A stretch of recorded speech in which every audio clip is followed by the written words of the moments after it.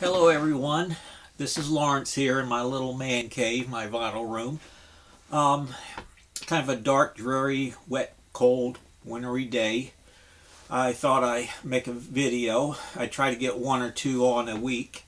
And I appreciate everyone who have uh, watched my videos and put in a little comment or, or thumbs up. I really appreciate that. I'm trying to really get trying to get this uh, my little page going. I mean, I don't want 10 zillion subscribers, but just a nice little group. You know, we share interest. Um, and it always crossed my mind, well, what's the theme of this video I want to make or that video? And um, I, I came up with this idea.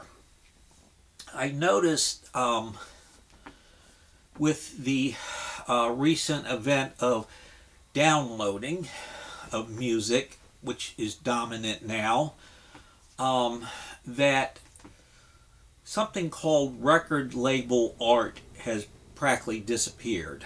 Okay, um, let me explain that.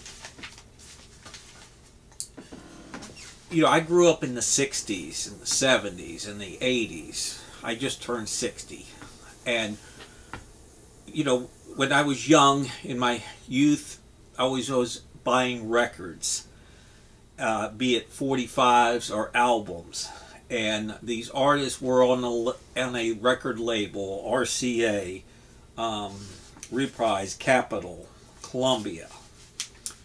And so if you if you brought the album or 45 it usually has the um, the label art, and this one is Atlantic, Led Zeppelin, Zep 2.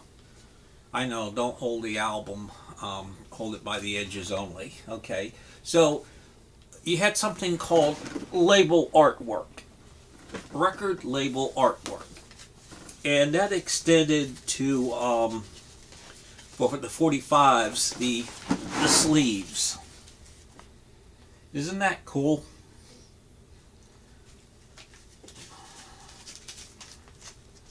Island Records.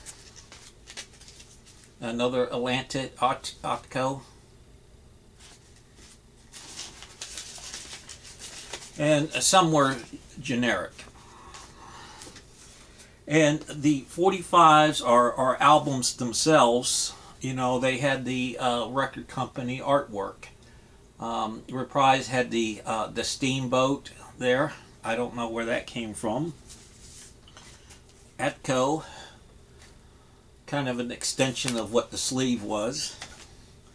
Uh, this was a famous one, uh, Columbia. The the kind of uh, reddish orange label there. And let me put on my glasses. Uh, this yeah, this is Wings uh, Good Night Tonight, where they kind of went a little disco-y there. And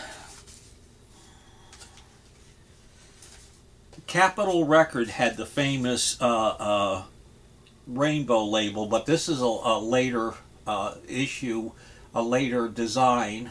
Um, this is Sweet Love is Like Oxygen. Okay, that's pretty cool. Uh, where it's purple. Uh, EMI, part of Capitol.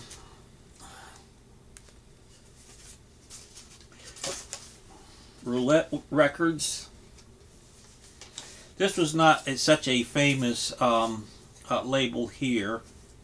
Uh, Genesis Records and cool outer sleeve. Um, oh, there's one I have to run and get real quick, okay? I forgot to uh, grab it.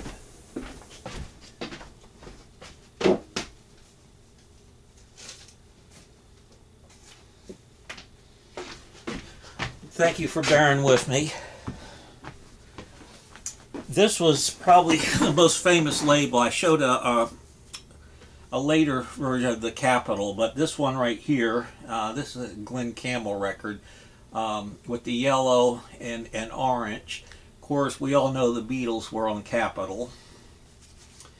And the Beatles formed their own label called Apple. And this is the Badfinger 45 uh, Baby Blue. And on the back it has the like the apple's been sliced. And one last one I'll show you. Elektra Records. A lot of people were on on that label, like the the Cars, um, um,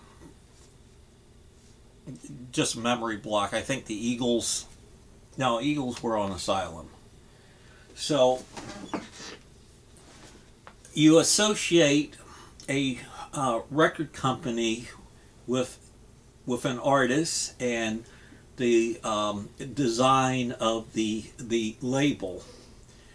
The artwork extended over to the um, sleeve of the 45.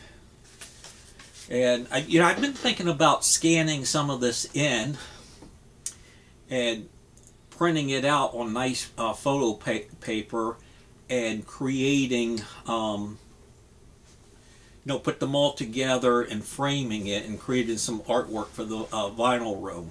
Okay. Um, also, more recently, with the uh, vinyl coming back and artists, newer artists releasing um, um, their work on vinyl, um, usually the record label the, there's no artwork. You know, it's used right here, the St. Vincent album. It's, it's down here, and the uh, album itself, we'll pull that out.